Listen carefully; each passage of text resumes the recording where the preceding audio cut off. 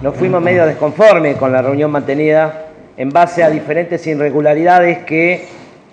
se había presentado en el camino. Vemos que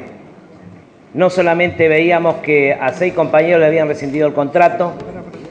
no solamente veíamos y se seguía sosteniendo la situación de los compañeros despedidos en planta permanente,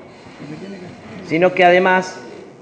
teníamos 14 compañeros que no podían pasar a planta permanente porque, oh, qué casualidad, una semana antes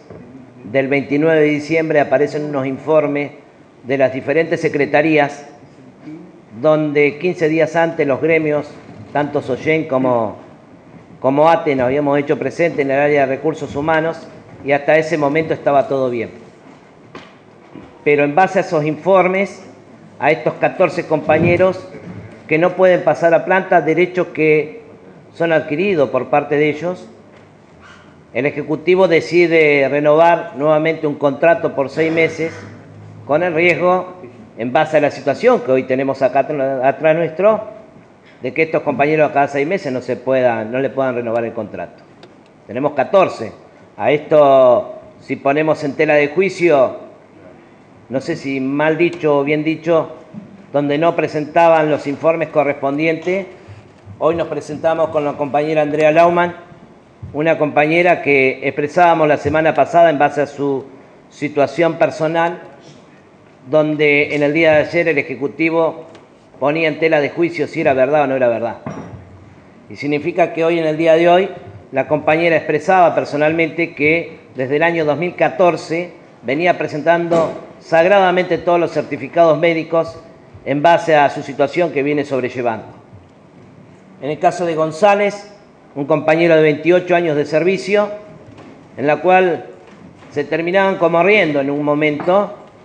sobre la situación particular que por una uña lo habían despedido, porque no había presentado los certificados en tiempo y forma.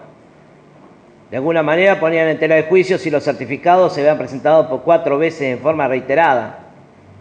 Después teníamos la situación de los compañeros de la cual le habían bajado la categoría por de 11 a la categoría 4 o 3, compañeros del área de inspección. Informe que le notificaron el día 29 de diciembre, pero la nota tenía recién el 7 de diciembre. Tenemos la situación de, como expresábamos en el día de ayer, y el compromiso de parte del Ejecutivo que a fin de año teníamos que terminar con el convenio colectivo de trabajo pero hacía seis meses que no tratábamos esta situación. Digo, esta situación, el convenio colectivo de trabajo, la verdad ha sido una situación que nosotros, ¿por qué insistíamos tanto en el, convenio colectivo de trabajo? Porque le iba a dar la posibilidad a los trabajadores, según uno de, de los reglamentos internos del convenio, que a los 12 meses iba a poder pasar a planta permanente y no llegar a esta situación,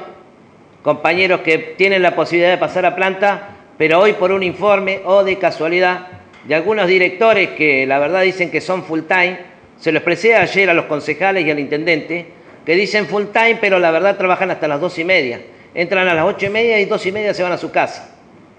Y las responsables muchas veces no son los directores, sino los que hacen los informes, son los compañeros que se creen más cacique que todo. Y a consecuencia de eso tenemos el despido de estos compañeros. La recesión de